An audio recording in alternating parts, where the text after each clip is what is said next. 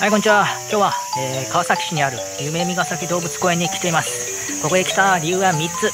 1つ目、えー、来てみたかった。2つ目、えー、手っ取り早く動画の数を稼ぐ。そして3つ目動物好きをアピールして好感度を上げる。です。それでは行ってみましょう。マーコール、うん、見えた。角がすげえぐるぐるなってんな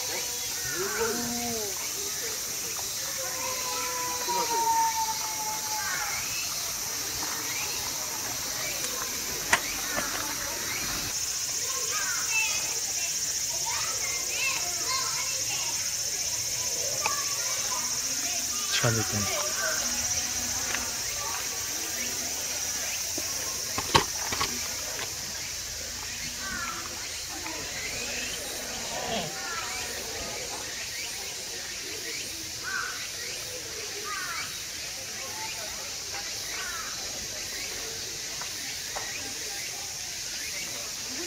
な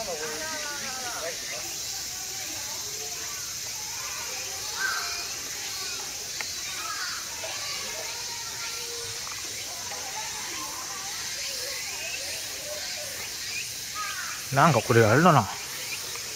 みんなこう口もぐもぐしてるけど、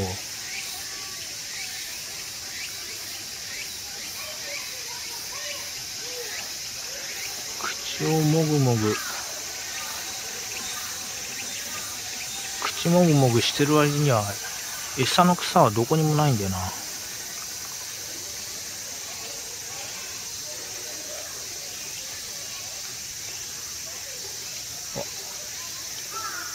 動いた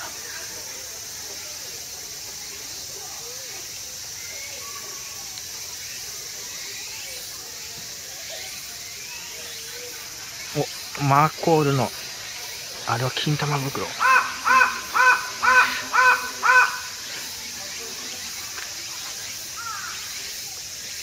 降りてきた。